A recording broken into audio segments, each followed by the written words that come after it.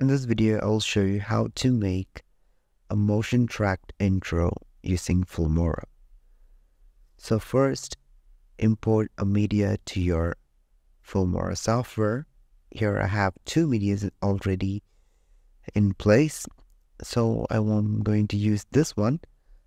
I'm going to drag this and drop it on the timeline here. So you can see this uh, video of China of street where a man is walking. So I'm going to use this one and I want to add a title. For that, you can search the titles over here and it will give you any type of titles you want. Here, I'm going to use a different title called China Travels since this is a video of China. I have this one over here. Drag this and drop it on top of this video. Let's play it and see in this one, the title is static. It's not moving anywhere.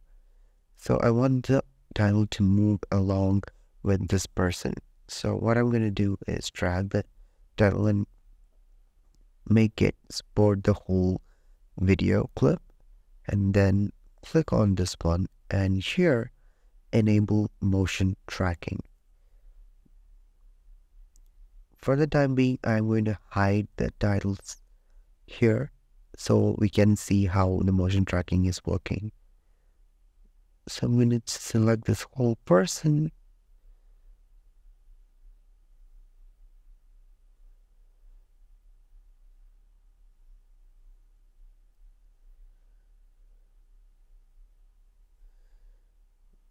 Make sure you have that whole box covering the person. I have that done. I'm going to click on motion tracking. So let's see how well it is tracking. And as you can see, it was tracking really well. So the tracking is now complete. I'm going to show the track with China title here. And now let's link the element to this China template.